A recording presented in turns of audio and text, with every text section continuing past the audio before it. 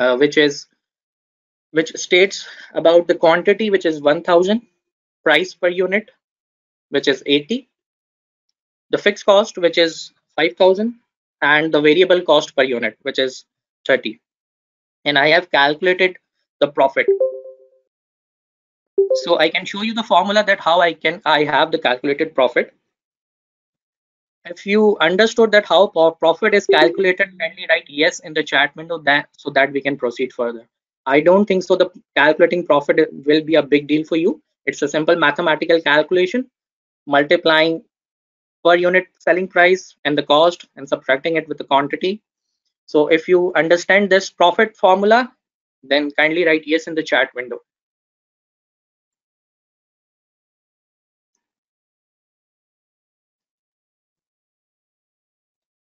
All right, thank you for the feedback. So let's come to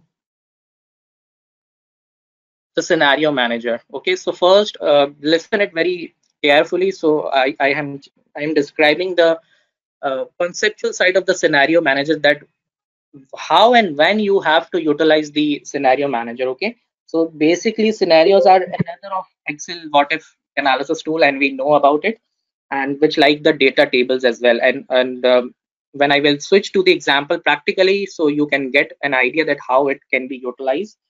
And uh, also we have some very good features in the scenario scenario manager as well.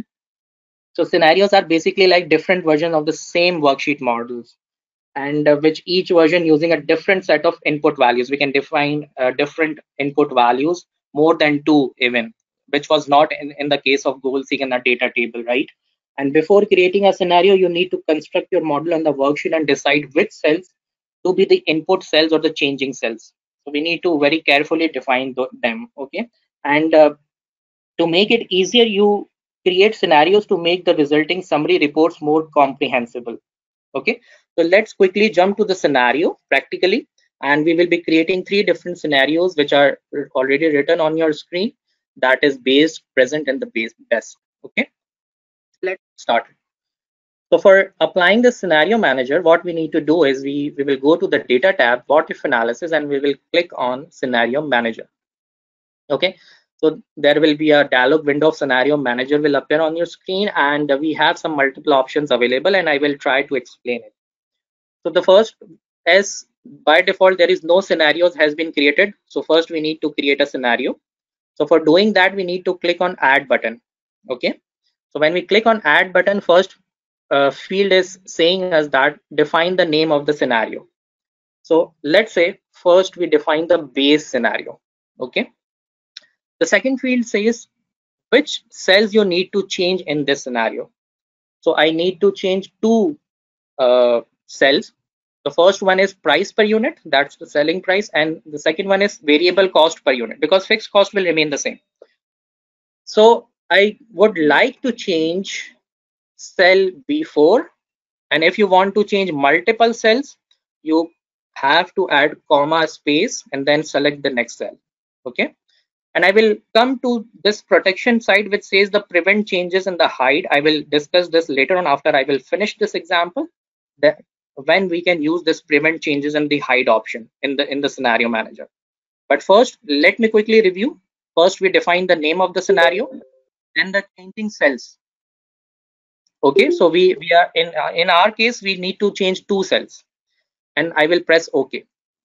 So when i press ok the scenario va uh, values screen now appear. And on those two cells i need to set a value. So for example i need to set price per unit to a lower side which is 70 for example my new value will be 70 of price per unit. And my variable cost per unit will be 25 in the base scenario okay? And i will click ok. So now you can see that you have a base scenario available on your spreadsheet okay? Now we will add two more scenarios which is the present and the best one. So for the present again i will click on add button. I will define a name to it. And i need to change these two cells b4 and b6 which is absolutely right. And i will press ok so so for the present scenario, definitely we will go with the present prices, which are price per unit 80 and variable cost per unit is 30. So now we have two scenarios.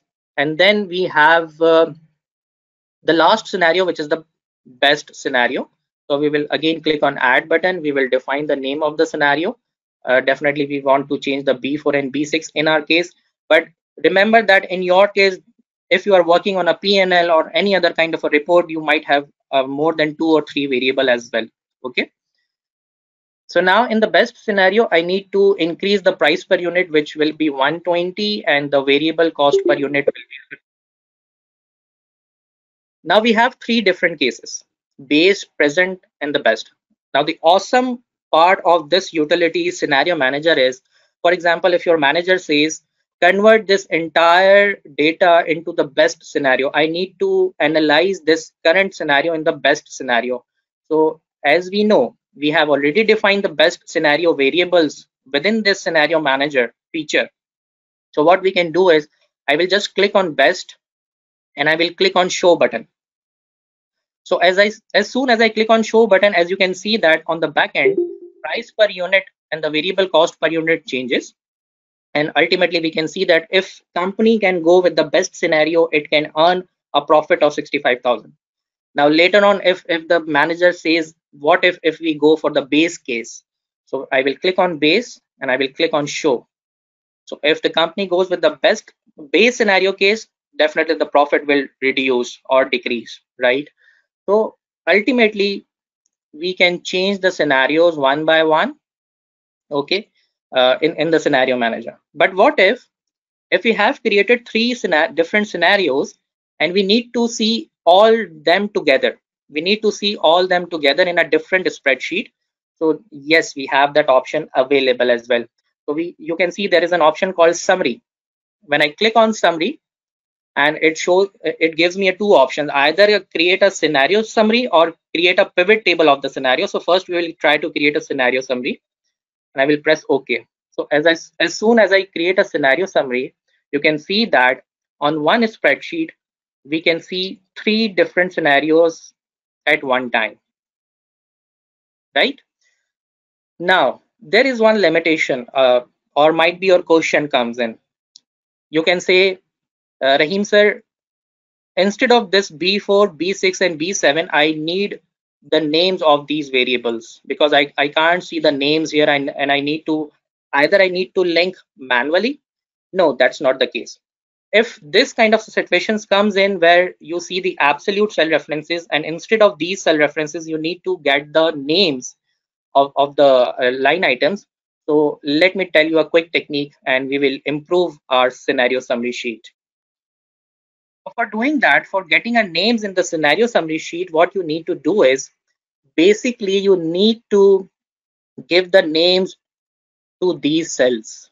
And there is a concept called named ranges. I hope that some of might of you have an idea that what are name ranges. Basically, we define a name ranges. We give a name of our own choice in Microsoft Excel. It can be related to one cell. It can be related to multiple arrays as well. So for for giving a quickly name to a cell, there there are multiple ways to do it. The first way is go to the name box, type type the name manually. The second way is go to the formulas tab and, and from the name manager you can define a name of that cell. But let me show you one very good technique giving multiple cells names within a second. Okay. So defining all the cell names, giving them names what I will do is I will select this entire range, okay, these four lines, and I will go to formulas tab. I will click on create from selection. And here from the create from selection window, I will select left column. Now, why I am choosing the left column here? Because these cells will be defined names, but those names will be picked by the left column okay? So this 1000 cell which is b3 will be given a name which is called quantity from the left side.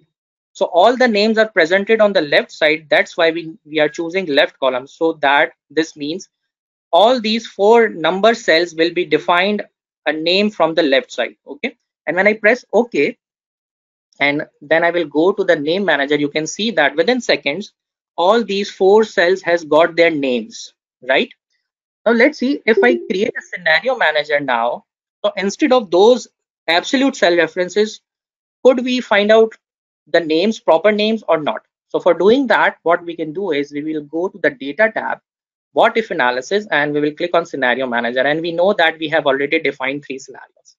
So I will quickly jump to the summary part and I will click on OK. So now as you can see that price instead of B4, it's giving us price per unit. Instead of B5, it's giving us variable cost per unit, a proper name of the report.